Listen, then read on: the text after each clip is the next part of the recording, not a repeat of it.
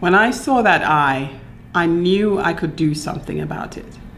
So, with a light box, a catheter, and five ophthalmologists looking over my shoulder, I was able to perform his surgery. At the end, the next day, he looked excellent, and we saved his sight.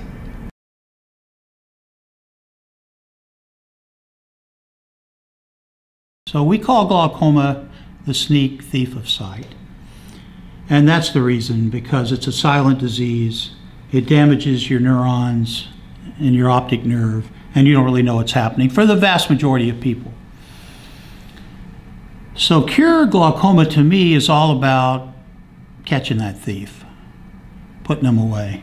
Our goal is to allow somebody to keep useful vision so they function the best they can throughout their life. And if we accomplish that, that's, that's unbelievably exciting.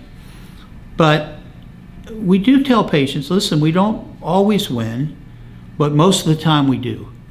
For me, it probably started, you know, 10 years ago. And I, I would, um, initially, a friend of mine had called me to say, come go on a mission trip. And I, I said, okay, well, let's go. And I, I didn't really know what to expect. The third day into this visit, this lady comes in and she's been led in by her daughter. I had this little portable slit lamp that I was using, and the daughter helped her to sit down. And I took a look in her eyes. Um, she had really high pressures, her nerve was copped out, and um, she was blind in both eyes. And uh, for a second there, I, um, I, I just sat back and I said to her, I said, Well, lady, you know, I'm sorry, there's nothing I can do for you. Singularly, that changed hmm. me.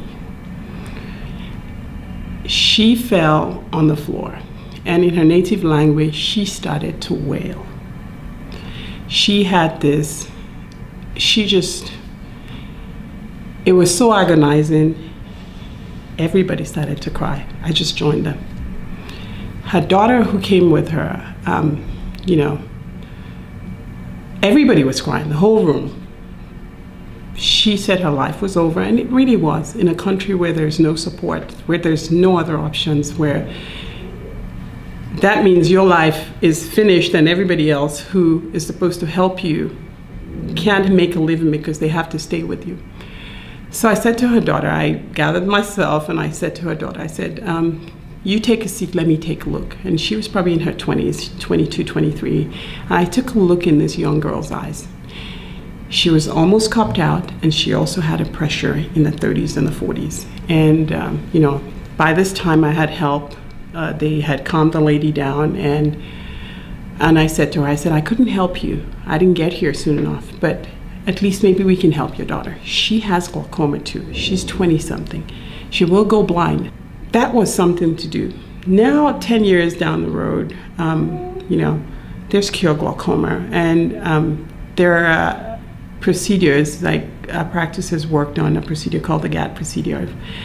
And a year ago, I went back on a different mission trip, a mission trip where I, I, I, I went to and I left with hope. I, I left feeling that I had done a good service, not just hand people drops. Um, that girl is probably I don't know. She was from a village, couldn't afford, probably couldn't afford her medicines. Maybe she's blind now. But, and I wish this happened 10 years ago, but this is what we have. But I think from now on, going forward, it will be different. And it will be different because of what we plan to do with Cure Glaucoma. That's what it means to me. One person at a time. Hopefully, in teaching that one person, she'll teach another person and she'll treat a thousand people. And in in going and doing for one person, uh, you're hoping that um, I look at that little boy now, and I, I don't know what he's going to be tomorrow, but hopefully it'll be something better than he would have been. And I think that that should be enough. And if you're blind in the U.S., you have a seeing eye dog, you have crosswalks, you have social services that can help you. But if you're blind in a small village in India or a small village in Africa, there are no crosswalks. There are no seeing eye dogs. You have a seeing eye child. And what typically happens is the grandson or the son will lead the father or grandfather around.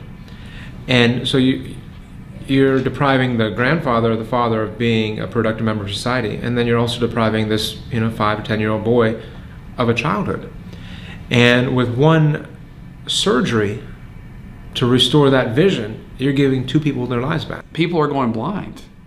And we're not like the other doctors that are trying to improve vision. We're trying to save vision so you don't lose vision. And that's a hard thing to deal with because we don't always win. And having new procedures and new techniques is hopeful for us. And it gives us hope that, hey, we've got options here. We're not going to be living in the past. I tell people it's not like getting your appendix out, where you go get your appendix out and you're done in a few days and you get better.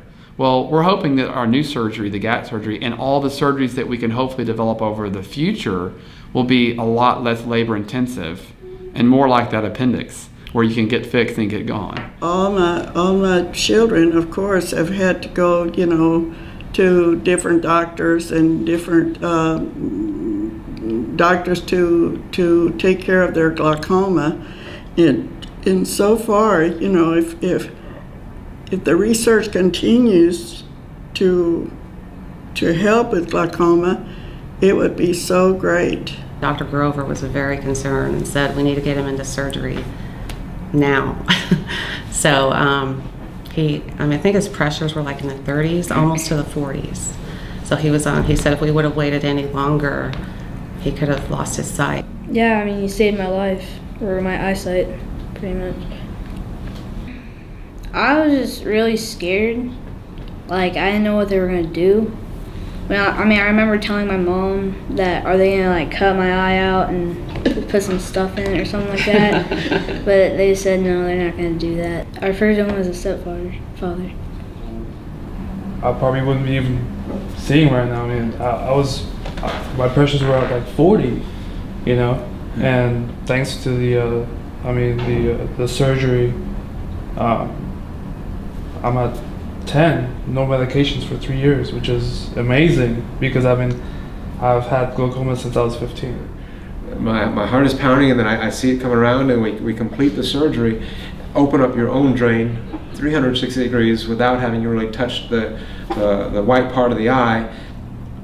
And uh, we, Dr. Foreman and I, we have our masks. You know, you can't see your face. You have the masks on. You have the hat on. We look at each other. Our eyes are just, you know, in disbelief. And uh, we we give each other a little like sterile fist bump. Heard of the term, I thought old people get it. That's that's just what I thought. I had no idea that an infant could could have it. And we saw Dr. Smith, and as soon as she looked at it, it was just she said, "Okay, we have to get her into surgery." I actually I talk to a lot of women now. They see Oakley's glasses and they say, "How do they know at that age?" You know, if there if there's a problem. So I tell her story and I just, um, I tell the moms if you ever are concerned, if you have, a, you know, any question that your child might be having eye problems, just go. Because like Oakley, she could have been blind. Now you can see what I'm doing. I mean, uh, look at me, what, what I'm doing. This was not really possible before, you know. I could do it, but not that. When you see clearly, your speed goes fast and everything is different. Everything is different.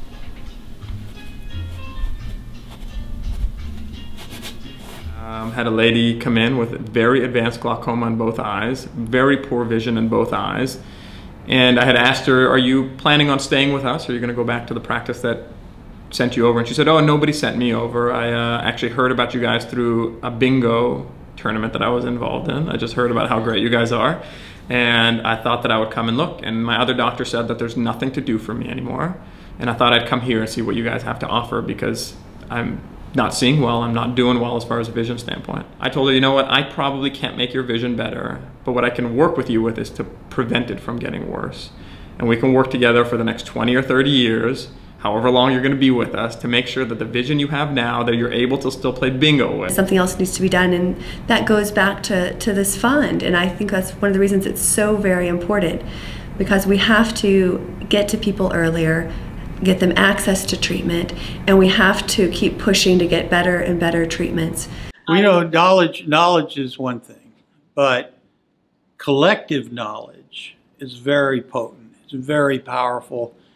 And that's what hopefully will take glaucoma care to the next level. And like Dr. Butler said, one person is not going to cure glaucoma. Our mission at Cure Glaucoma to fund transformational research, global missions, and providing access to quality care is incomplete without your help. We need to depend on you to help us by making a donation because every day counts. Please go to www.cureglaucoma.org to learn more about the cause and to make a donation. Join us as we change sight one person at a time.